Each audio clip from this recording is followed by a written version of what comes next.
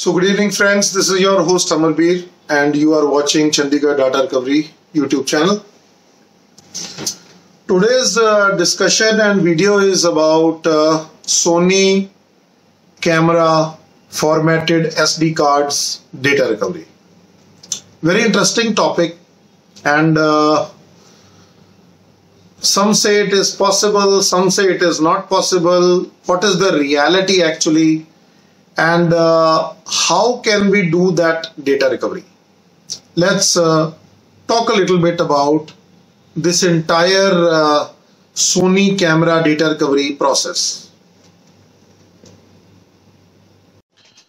Okay, so now what is happening that when we are uh, taking videos or photographs from a Sony camera, all these modern M3 type cameras, and we put the SD card inside the camera and we format it.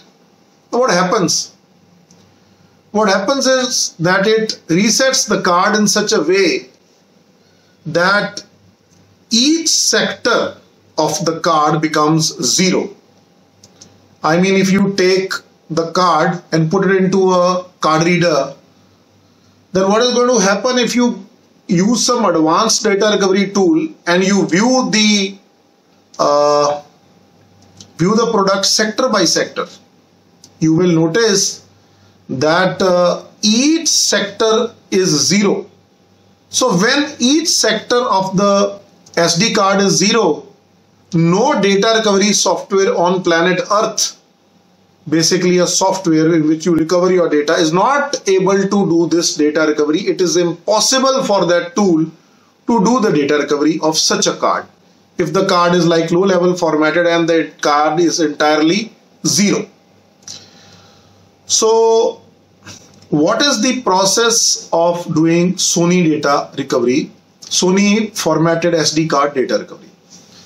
Okay, so what actually has to be done that let me give you an example of one of my customers mr arvind k. Gupta. He has sent me this card long time ago and possibly he is thinking that uh, i am not recovering his data but today i will like to explain him. Plus all the other people in the world why this particular recovery is not possible as of now. Let me try and open up his card okay it was put into this box by me. I have some literature over here where I have uh, you know taken the pin out of this entire card because I had done some R&D on the pin out also. Let me attend this call and I'll come back again. Okay so the phone was attended and I'm back with the magnifying glass and that particular card of Mr. Arvind. This is a very common card that many of you people will recognize. This is a card from Sony and very commonly this is being sold in the market as of now. There are other cards also. One of it is the SanDisk which has a 16 into 2 pattern inside it. I'll do a separate video on that but this is what I plan to do today.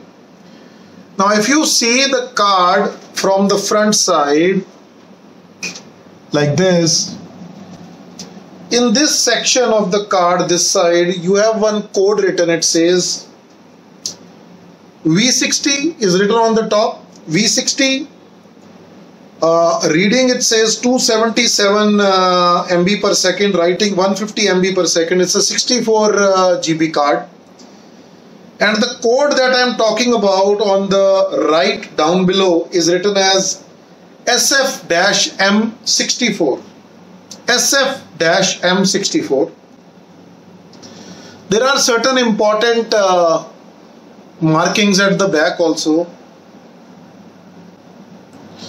Like it says C CG64 G2042 and then we have another line made in Taiwan. Card is empty. I have removed the internal logic card of this. Now we were discussing how data recovery is possible in such kind of formatted cards with Sony cameras. Okay, so I'm shooting the next clip now, sitting very comfortably chatting with you guys. See, the process is that you remove the circuit from the SD card, bypass the controller and directly access the NAND memory, the memory of the SD card, which basically has all your content still preserved the way you had actually clicked it in spite of all the sectors showing zero to you. So to do that what you need to do circuit is out and then you are going to take it under a microscope. You are going to find out the technological pins uh, signal pins input output pins the voltage pins and then you are going to wire them all up into a into a kind of an adapter and then you will put that adapter into the uh, you know the reader. Specialized uh, physical data recovery uh, readers. So I had prepared Mr. Arvind's card uh, similarly the way I am explaining you here is the card wired up on the uh, adapter and then the adapter has these pins which will go on to it like this and ultimately then we are going to bypass the controller and we are going to read now just imagine how complex this particular circuit work is and doing such microelectronic soldering. You can't do these solderings with general soldering stations. You have to do these solderings with specialized miniature uh, uh, soldering stations. You have to use a microscope and your hands have to be stable. You don't have to be sick. And then only you can wire this up. So this is a monolithic chip. Means that we are not able to see the processor and the NAND memory separately. In certain certain cards we are and uh, but in this we have these golden golden pads right below this area where I have wired all these technological pinouts to the adapter. Okay. So all said and done this process which is pretty complicated once this is over then what we need to do next is that we need to put this adapter like I explained you earlier into a uh, into a reader and then read the entire NAND memory code into the computer after the code is read we need to do error correction of the code in certain uh, uh, controllers you need to do XOR and then ECC and in certain controllers you have to do ECC. Let me explain you this. All these cards, uh, let me make another clip by the way.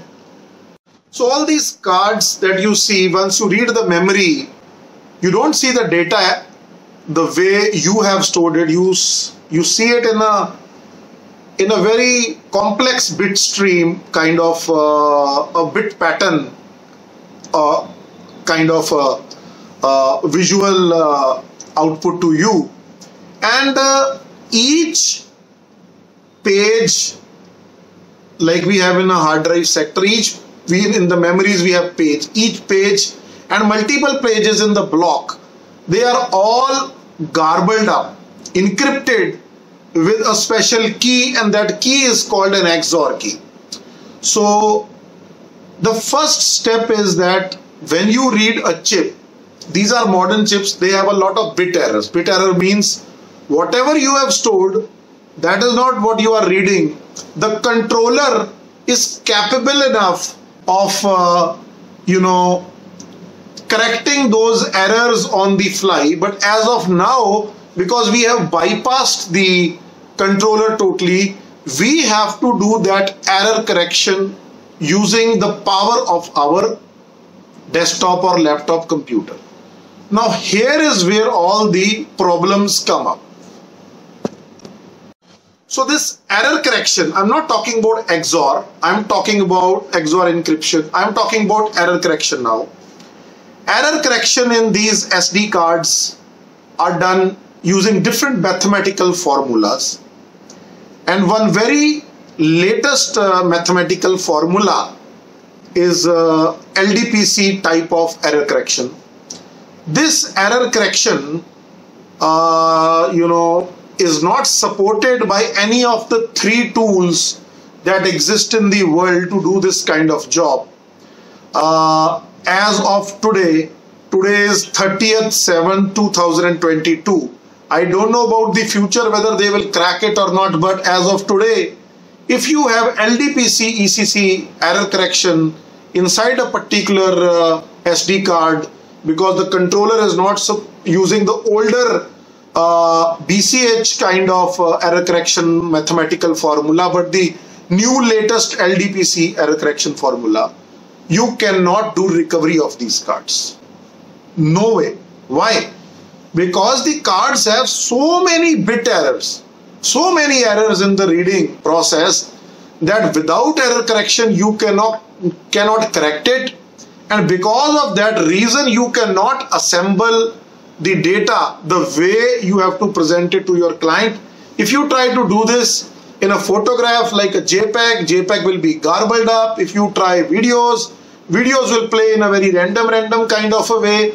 So it's quite a pain that you have to stop the process after doing so much of labor in the process. So arvindji I wanted to tell you that this particular card that you have sent me, this Sony card, this card does not use BCH and the older uh, type of uh, error correction in the NAND memory. Unfortunately, this uses LDPC and because of this LDPC, we are not able to recover the data. I hope this video of mine is going to be very useful for photographers if they actually follow. I have tried to explain you everything in a non-technical uh, manner by explaining you whatever the process is. But this video is not over yet. Uh, I am going to go back into my house today. And then I'm going to fire up Arvindji's case there in the uh, product that I tried this recovery. And then I'm going to show you what processes we did uh, along with the developer to try to get data from this. But unfortunately there are so many bit errors that this case cannot be done as of now yes after excuse me few months or after one year few years or might be never in their life if they are not able to figure out LDPC we will not be able to do these cases so let's go into the tool and see what are the steps that I did to figure this out.